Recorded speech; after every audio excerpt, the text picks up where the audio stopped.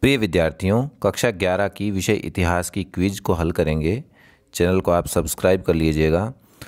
तो पहला प्रश्न है, इस्लाम धर्म का उदय किस दौरान हुआ? तो इसका आंसर हो जाएगा सातवीं शताब्दी के दौरान। अगला प्रश्न है, इस्लाम धर्म के महादूत में कितने तत्वों को माना गया? तो इसका आंसर है, तीन तत्वों को माना गया है। पैगंबर मोहम्मद क्या घोषित किया? तो इसका आंसर हो जाएगा, संदेश वाहक। अगला प्रश्न है, खलीफा का क्या शाब्दिक अर्थ होता है? खलीफा का अर्थ होता है लायक बेटा। प्रथम खलीफा कौन बने थे? तो वो बने थे अबू बकर।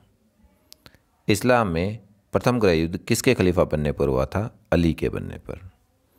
अगला प्रश्न है, बीबी आयशा और खलीफा अलेव के बीच युद्ध किस ईस्वी में हुआ? छः सौ सत्तावन ईस्वी में हुआ। अगला प्रश्न है, अब्बासी क्रांति कब हुई थी? इसका आंसर है सात सौ पचास ईस्वी में हुई थी। धन्यवाद